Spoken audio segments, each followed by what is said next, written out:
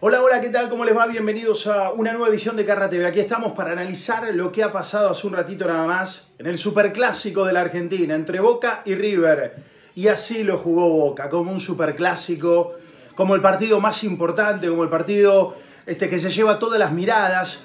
De hecho, la televisión misma y la AFA lo impone como el partido del día domingo. Muy temprano se jugaron varios partidos entre ellos el que analizamos, por ejemplo, de Newell's con la victoria ante Gimnasia, y ya en la tarde-noche se verá si hay o no. Es el epicentro del fútbol argentino, es la fecha que todos miran. Boca y River, en este caso porque jugaron en la bombonera, en la bombonera más mítica que nunca, porque Boca hoy, más allá de que sé que algunos van a empezar a comentar ahí en este, abajo en los comentarios en Carra TV van a empezar a decirme, no, pero lo que pasó aquel 9 de diciembre en Madrid eh, con River, que fue el que ganó, Boca no se lo borra más. Puede ser, es real, ganó el partido y el clásico más importante de la historia. Ahora, hoy en la mítica bombonera, Boca lo borró a River. ¿Cómo jugó Boca? Como si tuviese 11 Blas armando junta. 11 tipos con mucho huevo, 11 tipos yendo para adelante, trabando con la cabeza, teniendo actitud, eh, siendo fuertes. Así le ganó a River, que se mostró como un equipo, y así lo dice la marquesina de Leo MDQ cuando lo discutíamos hace un ratito para este, ver qué poníamos en dicha marquesina. River fue un equipo frío, fue un equipo timorato, fue un equipo livianito, como si fue de excursión a la bombonera, como si fue a pasear, como si fue a ver qué pasaba, o como si fue, vaya ido a jugar o haya ido a jugar a Copa Argentina un miércoles por la noche en el interior, en San Luis, en San Juan, eh, qué sé yo, en Mendoza, en Catamarca, frente a algún equipo del regional o algún equipo del argentino A, del argentino B. Así fue River, eh, creyendo que se los llevaba con la historia reciente, con esto que contábamos de Madrid o con los clásicos que también ganó, pero Boca se lo llevó puesto. Le ganó con la actitud que hay que jugar un clásico, le ganó porque tuvo huevo, le ganó porque tuvo corazón, le ganó porque tuvo este, pasión para jugarlo. Boca se encendió con el partido y en esto de comparar o poner pizarrones en, la, en el análisis del partido, Ibarra le ganó a Gallardo. Ibarra, ese novato, ese técnico que nadie quiere o que todos desprecian, ese técnico que eligió Riquelme con el dedo y que nadie le da este, dos monedas a Ibarra porque consideran que el equipo se lo arma el Consejo del Fútbol, le ganó al dueño de la llave de River, le ganó al dueño que decide qué refuerzos va, quiénes se van, quién sigue como presidente, quién es el manager, quién no, al dueño de todo le ganó. Boca hoy, o el negro Ibarra hoy, le pateó el pizarrón a Gallardo, le dijo, muñeco, este, todo muy lindo, tus seis o siete palos por Borja, espectacular tu historia con Solari, divino todos tus refuerzos de este, de muchos dólares. Boca le tiró lo que en algún momento fue la camiseta. Porque, insisto, muchos van a poner y van a comentar que River ganó aquella final en Madrid y todo lo que ya sabemos. Ahora, Boca hoy le mostró cómo se juega un clásico de casa, cómo se juega un clásico este, en el fútbol argentino.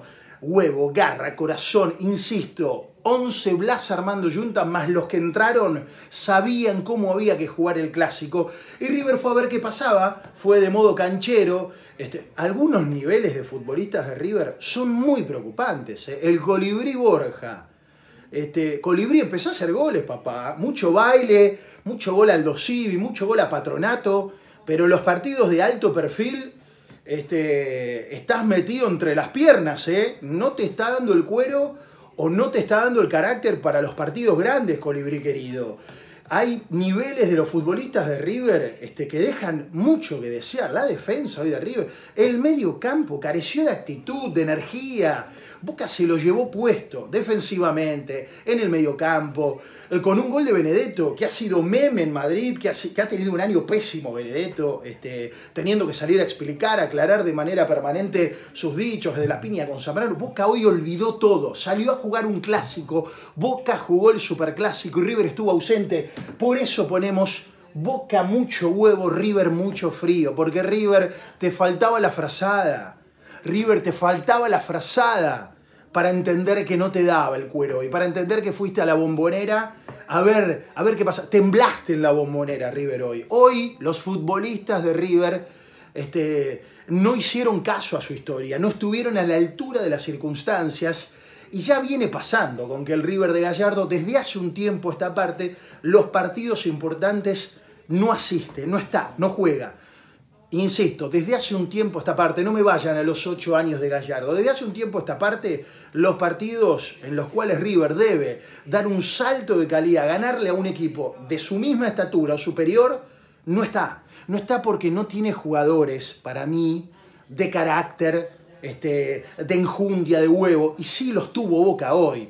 Los tuvo con los pibes, los tuvo con los grandes, los tuvo con los Rossi, este, los tuvo con los Benedetto, los tuvo con los Varela, los tuvo con los, eh, con los estandartes. Allí depositó Boca su energía para ganar un clásico. Ibarra súper aprobado. Gallardo, usted Gallardo hoy ha ido a jugar a la bombonera con un perfil y con una táctica estratégica espantosa, de equipo pequeño, chiquitito, insisto, fue como a pasear River, a ver si lo llevaron de excursión a la bombonera, a ver si lo hacían pasear por los pasillos de la bombonera, este, y resulta que se encontró con el matón o con los matones de la boca, los futbolistas que hoy entraron y tuvieron todo el coraje toda la garra para ganar un partido que para mí a Boca lo pone como el máximo candidato a quedarse con el título. Es verdad que después con el correr de las fechas esta historia puede cambiar, River puede avanzar, ganar, Boca quedarse, el campeonato está irregular, está parejo para todos.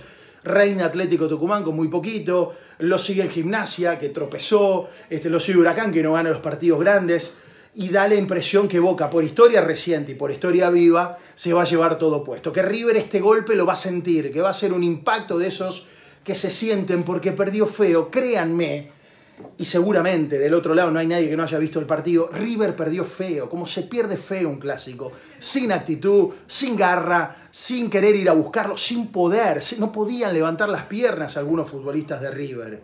Y en esto es gran responsable Gallardo, porque en la semana además se fijó en pequeñeces. En el día de, la, de hablar de los técnicos, de la conferencia de prensa, vio que iba a hablar Ibarra 2 y 20, el 2 y 40 y quiso primerearlo para que le presten atención a él. Muñequito querido, hoy en la Homonera hiciste agua vos y tu River.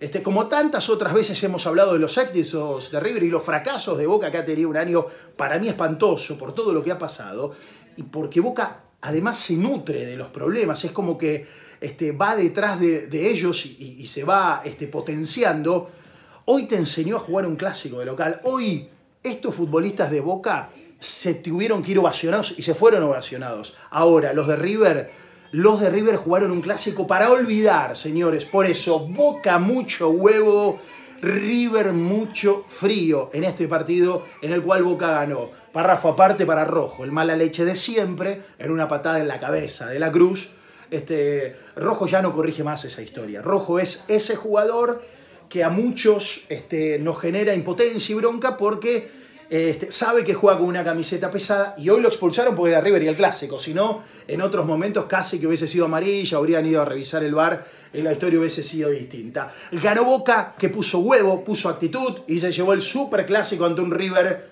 chiquitito, opaco, sin nada. Nos vamos Carra TV en otra historia de este domingo muy movido.